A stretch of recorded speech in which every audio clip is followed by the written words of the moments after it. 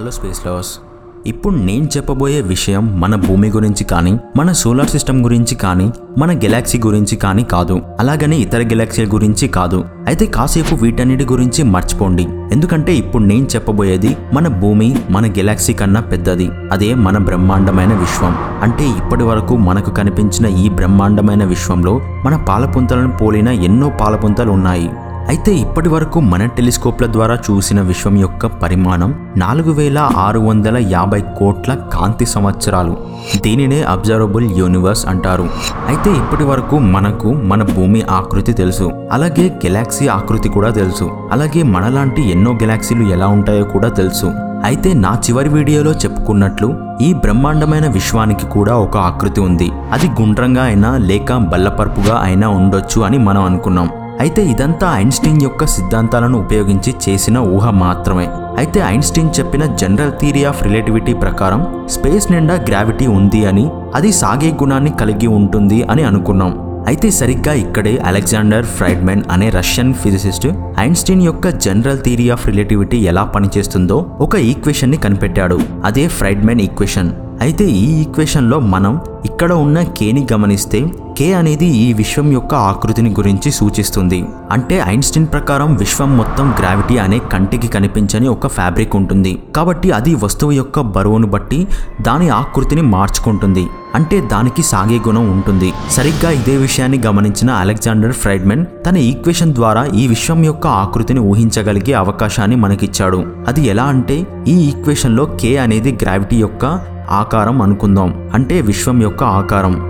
ఈ ఈక్వేషన్ ప్రకారం ఒకవేళ కే స్థానంలో ఏదైనా ఒక వాల్యూని మనం సబ్స్టిట్యూట్ చేస్తే అంటే K is equal to plus one కానీ K is equal to minus one కానీ లేదా K is equal to zero అయినా ఉండొచ్చు. ఒకవేళ K is equal to plus one అయితే ఈ విశ్వం యొక్క ఆకృతి గుండ్రని ఆకారంలో ఉంటుంది. అంటే విశ్వంలోని మొత్తం గెలాక్సీల బరువు వల్ల స్పేస్లో ఉన్న గ్రావిటీ అనే ఫ్యాబ్రిక్ మొత్తం పూర్తిగా గుండ్రని ఆకారంలోకి మారిపోయి అందులోనే ఈ సమస్త విశ్వం ఉంటుంది.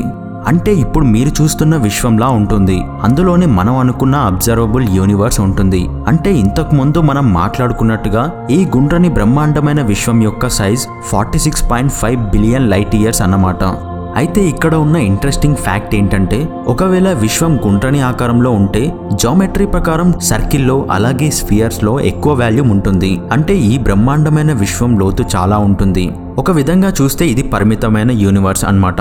దీనిని క్లోజ్డ్ యూనివర్స్ అంటారు. ఇప్పుడు ఫ్రైడ్మెన్ ఈక్వేషన్లో కేని మైనస్ వన్తో పోల్చితే ఈ విశ్వం ఇలా ఉంటుంది. దీనిని హైపర్బోలిక్ ప్లేన్ అంటారు. అలాగే నెగిటివ్ కర్వ్ షేప్ అని కూడా అంటారు. ఎందుకంటే దీనిని మనం మైనస్ వన్తో పోల్చుతున్నాం కాబట్టి అయితే ఇందులో సర్ఫేస్ అనేది తక్కువ వాల్యూమ్ని కలిగి ఉంటుంది. దీనినే ఓపెన్ యూనివర్స్ అంటారు. ఇదే ఈక్వేషన్ ప్రకారం కే అనేది జీరో అనుకుంటే ఈ విశ్వం యొక్క ఆకృతి బల్లపరుపుగా ఉంటుంది. అంటే ముందుగా మనం అనుకున్నట్టుగా ఎలాంటి గుండ్రని ఆకారంలోనూ ఉండదు. కేవలం ఒక మైదానంలా ఉంటుంది. దీనినే ఫ్లాట్ యూనివర్స్ అని అంటారు. అయితే ఈ మూడు యూనివర్స్లలో కూడా ఎక్స్పాన్షన్ జరగడానికి అవకాశం ఉంది. అయితే ఫ్రైడ్ మ్యాన్ ఈక్వేషన్ని మనం అబ్జర్వబుల్ యూనివర్స్తో మ్యాథమెటికల్గా క్యాలిక్యులేట్ చేసినప్పుడు మన యూనివర్స్ అనేది ఫ్లాట్గా ఉంటుందని తేలింది. అయితే ఇక్కడే మనకొక డౌట్ వస్తుంది. ఐన్స్టీన్ ప్రకారం విశ్వం గుండ్రంగా ఉంటుంది కదా? మరి ఫ్లాట్ యూనివర్స్ ఎలా అవుతుంది? అయితే ఫ్రైడ్మెన్ ఈక్వేషన్ ఈక్వేషన్తో చూస్తే ఐన్స్టీన్ ఈక్వేషన్ తప్పు అని తేలుతుంది. అయితే నిజంగా ఐన్స్టీన్ ఫీల్డ్ ఈక్వేషన్ తప్ప అంటే కాదు. ఎందుకంటే స్పేస్ అనేది బెండ్ అవుతుంది. అలాగే గ్రావిటీ అనేది ఉంది అని ఇప్పటికే నిరూపించబడింది. అయితే ఫ్రైడ్మెన్ ఈక్వేషన్కి ఐన్స్టీన్ ఈక్వేషన్ని కలిపితే ఈ యూనివర్స్ అనేది గుండ్రని బ్రహ్మాండమైన విశ్వమని తేలింది.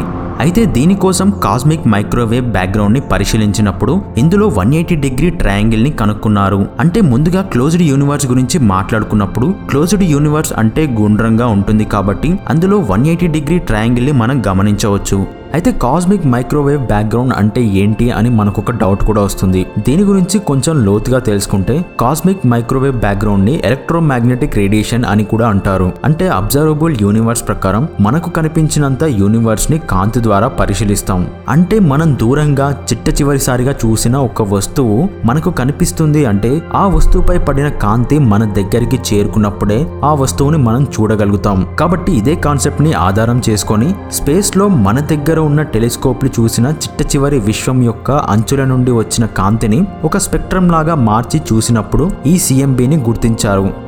అంటే విశ్వం అంచు నుండి వచ్చిన కాంతిని వివిధ రకాల వేవ్ లెంత్లలో చూసినప్పుడు ఈ విశ్వం యొక్క అంచులు ఈ విధమైన ఉష్ణోగ్రతను చూపించాయి. అంటే విశ్వం అంచు నుండి వచ్చిన కాంతిని ఒక ప్రిజం గుండా పంపిస్తే ఒక రెయిన్బోని ఏర్పరుస్తుంది. ఆ రెయిన్బోలో వివిధ రకాల లైట్స్ ఉంటాయి. అలా ఆ కాంతిని వివిధ రకాల రంగుల్లో పరిశీలించినప్పుడు దాని యొక్క ఉష్ణోగ్రతను తెలుసుకుంటారు. అలాగే ఇక్కడ ఒక ఇంట్రెస్టింగ్ విషయం ఏంటంటే ఈ విశ్వంలో అంటే మన అబ్జర్వబుల్ యూనివర్స్లో మనం ఏ డైరెక్షన్లో చూసినా సరే ఒకే రకమైన కాస్మిక్ మైక్రోవేవ్ రేడియేషన్ రికార్డ్ అవ్వడాన్ని గమనించారు. అయితే దీని ప్రకారం విశ్వం మొదట్లో వెలువడిన కాంతి అన్ని డైరెక్షన్లలో పడడం వల్ల అక్కడ గెలాక్సీలు ఉన్నాయని మనకు అనిపిస్తుందా?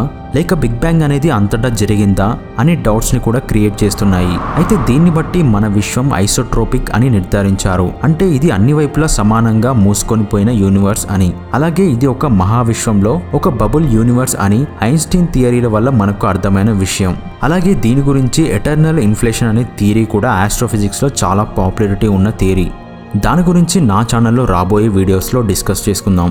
ఇంట్రెస్ట్ ఉన్న వాళ్ళు దాని గురించి కామెంట్ చేయండి. అలాగే ఈ విషయం ఎలా పుట్టింది అని మనలో మనం చాలాసార్లు క్వశ్చన్ చేసుకుంటాం. కానీ సమాధానం దొరికినంత వరకు ఆలోచించి అక్కడే ఆగిపోతుంటాం. సో ఈ వీడియో ద్వారా నేను మీకు చెప్పేది ఒక్కటే. థింక్ బియాండ్ విత్ మీ నాతో కలిసి డిస్కస్ చేయడానికి నా ఛానల్ని సబ్స్క్రైబ్ చేయండి.